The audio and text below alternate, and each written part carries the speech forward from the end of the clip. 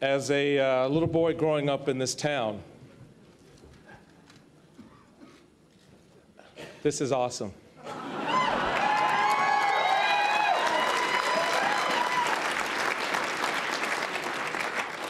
It is with a great deal of uh, humility and a sense of service that uh, I accept and appreciate and thank all of you for the opportunity to serve as the next national chairman of our very proud, our very strong, and our very, very hardworking Republican National Committee.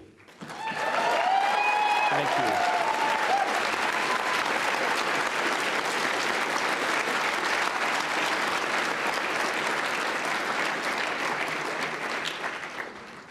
To our friends, to those who support us, to those who believe in the ideals, those conservative principles that have made us the strong and proud party that we are.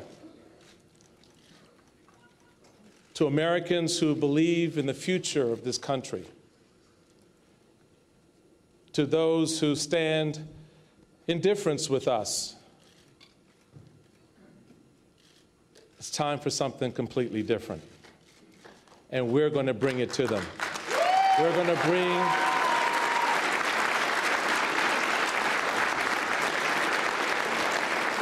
We're going to bring this party to every corner, every boardroom, every neighborhood, every community. And we're going to say to friend and foe alike, we want you to be a part of us. We want you to work with us.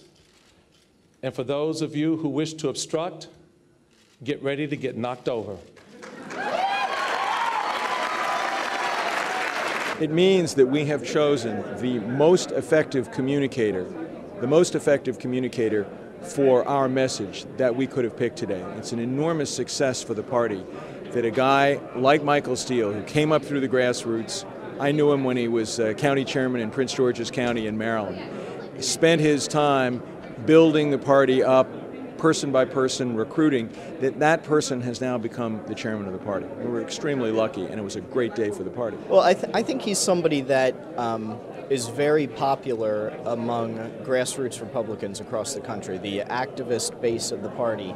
Um, Michael Steele is somebody that's very popular, just from being on Fox News, uh, being very visible in the media.